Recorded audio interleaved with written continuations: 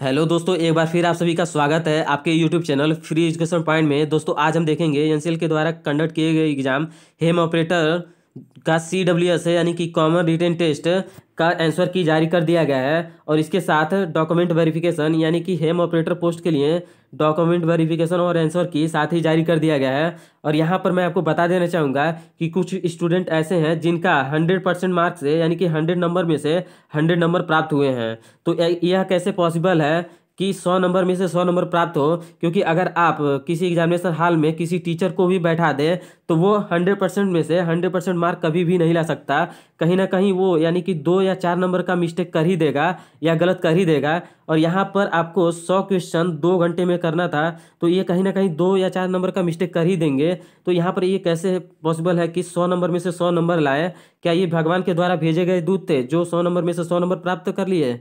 तो यहाँ पर कहीं ना कहीं करप्शन का चांस है और आप कह सकते हैं कि कहीं ना कहीं यहाँ पर करप्शन हुआ ही है। और यहाँ पर मैं आपको बीच प्रूफ दिखा दूँगा कि यहाँ पर कुछ स्टूडेंट ऐसे हैं जिनका सौ में से सौ नंबर प्राप्त हुए हैं। तो सबसे पहले आपको यहाँ पर मैं दिखाना चाहूँगा, यहाँ पर आंसर की का जो सेट है, यहाँ पर आप देख सकते हैं यहाँ पर जो सेट ए सेट बी या सेट सी है तो यहाँ पर कहीं ना कहीं मतलब सभी का सेम ही होगा, जो बोनस यहाँ पर मिले हैं। यानी कि यहाँ पर सत्रह नंबर क्वेश्चन में आप देख सकते हैं, सत्रहवें नंबर क्वेश्चन में बोनस मिला है, और यहाँ पर आप देख सकते हैं निन्यानवे में यानी कि नाइन्टी नाइन्थ नंबर क्वेश्चन पे भी बोनस मिला है। यानी कि कुल टोटल दो मार्क्स जो है यहाँ पर आपके प्लस हो गए हैं, यानी कि दो नंबर प्लस होंगे, आपके यहाँ पर बोनस मार्क तो यहाँ पर आप देख सकते हैं, और अब आपको मैं दिखाता हूँ, जो इसका एनेक्जरी लिस्ट यानी कि ये आप देख सकते हैं एनेक्जरी लिस्ट टू है, यानी कि इसके दो लिस्ट हैं।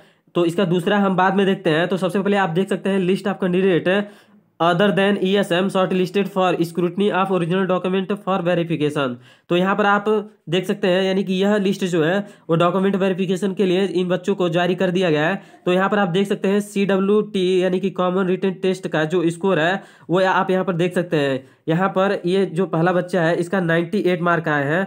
यानी कि इसका 98 मार्क्स है, यानी कि दो नंबर जो है बाद में वो प्लस हो जाएगा। यानी कि आउट ऑफ़ हंड्रेड इसका हंड्रेड मार्क आए हैं। तो यह कैसे पॉसिबल है? आप खुद सोच सकते हैं। तो आप यहाँ पर खुद देख लीजिए। यहाँ पर तीन बच्चों का 98 मार्क आए हैं।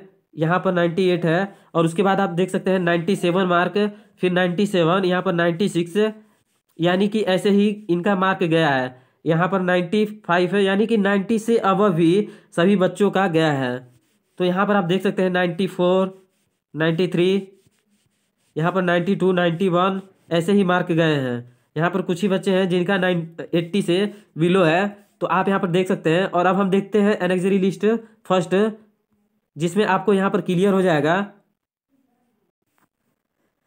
तो यह रहा लिस्ट आपका एनेक्जरी फ़र्स्ट यहाँ पर आप देख सकते हैं list of shortlisted candidate other than E S M for security of original document for selection to the post of dragline operator training only तो यहाँ पर आप देख सकते हैं ड्रैगलाइन ऑपरेटर के लिए यह डॉक्यूमेंट वेरिफिकेशन के लिए यह लिस्ट जो है शॉर्ट लिस्टेड किया गया है। तो यहाँ पर आप देख सकते हैं, यहाँ पर सी डब्ल्यू टी यानी कि कॉमन रिटर्न टेस्ट स्कोर जो है, यहाँ पर इस स्टूडेंट का नाइन्टी सेवन है। और यहाँ पर आप देख सकते हैं ए टी टी यानी कि एडिशनल टेक्निकल टेस्ट जो है, इसमें जो स्कोर इसने किया है, यह मात्र बाईस है।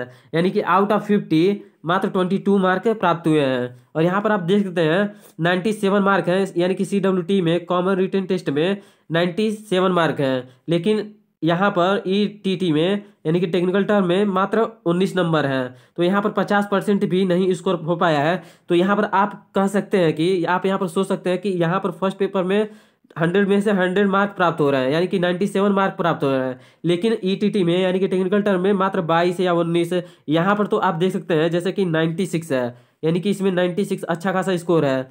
और यहाँ पर आप देख सकते हैं कि मात्र यहाँ पर बारह नंबर, यहाँ पर मतलब फिफ्टी परसेंट भी नहीं, यहाँ पर इतने कम नंबर प्राप्त हुए हैं। तो यहाँ पर आप कह सकते हैं कि इनका कहीं ना कहीं सी डब्ल्यू टी में कहीं ना कहीं व्यवस्था हो चुका था, यानी कि यहाँ पर कहीं ना कहीं करप्शन हुआ है, जिसकी वजह से यहाँ पर नंबर अच्छा खासा आया है।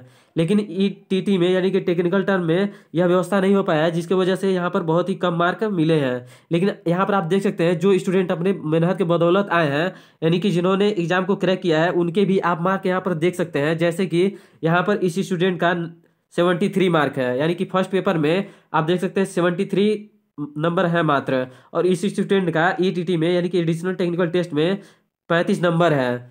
तो यहाँ पर आप देख सकते हैं, दोनों मिला करके एक सौ अट्ठा एक सौ आठ मार्क हो गए हैं, जिससे इसका सिलेक्शन हो गया है। और यहाँ पर आप देख सकते हैं सिक्सटी एट मार्क है। यानी कि फ़र्स्ट पेपर में सिक्सटी एट है और सेकेंड में फोर्टी नंबर है। तो यहाँ पर कहीं ना कहीं दोनों चीज़ इसका मेंटेन है, जिसकी वजह से इसका सिलेक्शन हो गया है।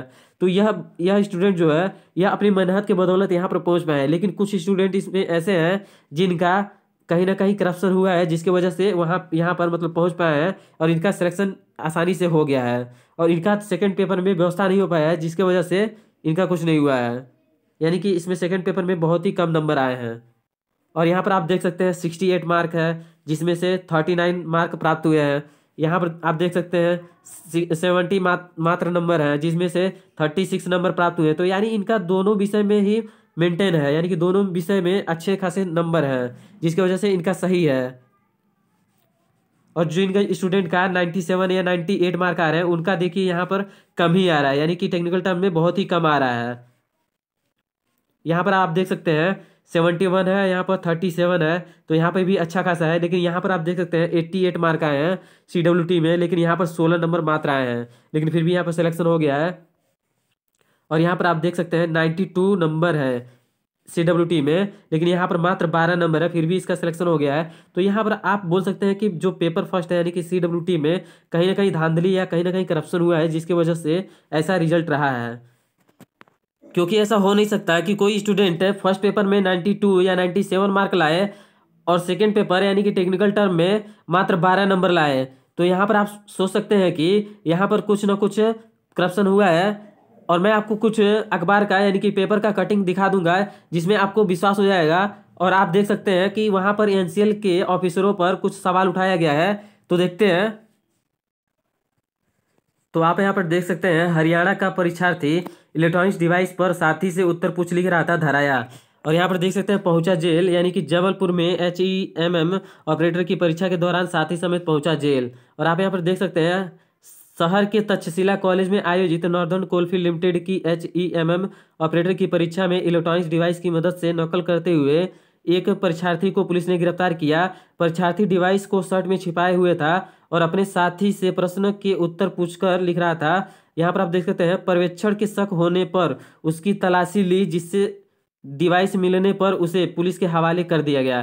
तो यहाँ पर यानी कि एक को पकड़ा गया और ऐसे ही यानी कि सात केस आए थे, लेकिन नॉर्थन कोलफील्ड लिमिटेड के द्वारा छः लोगों को बताया गया, यानी कि छः लोगों को जेल में, जेल के हवाले किया गया, यानी कि पुलिस के हवाले किया गया।